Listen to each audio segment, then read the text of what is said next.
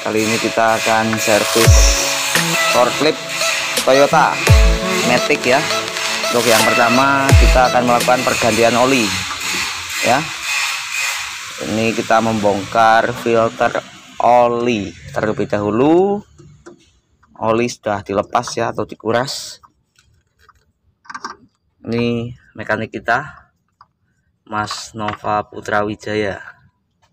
Oke, Putra Gemuruh guys. Ya, kita lakukan pergantian untuk filter oli.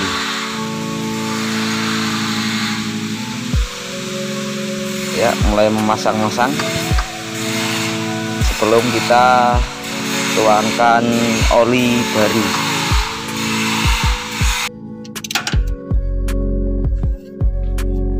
Guys, lakukan pengencangan secukupnya. Sampai eh. Oke setelah kencang untuk selanjutnya. Sile ini akan apa oke kita pasang baut bawah penutup oli ya. Atau baut penguras.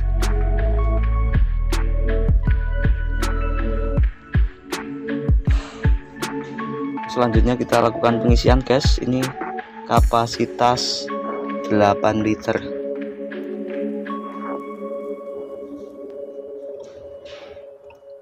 Kita bersihkan terlebih dahulu ya setelah kita lakukan pergantian penutup bawah atau filter bawah kita pasang filter solarnya. Oke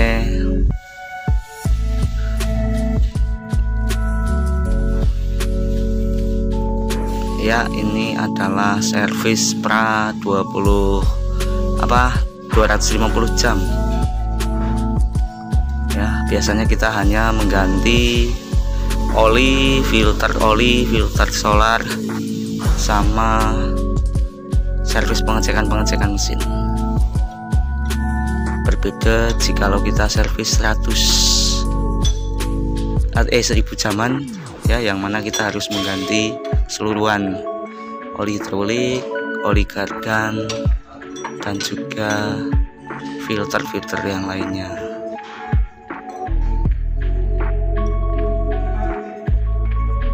Eh kita tinggal melakukan pengecekan setelah pergantian oli dan servis guys. Wih langsung nyala. Luar biasa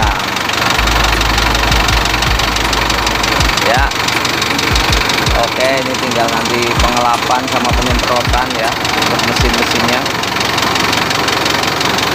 Ini forklift Toyota Matic. Di CV Berkah Rizky Mansara.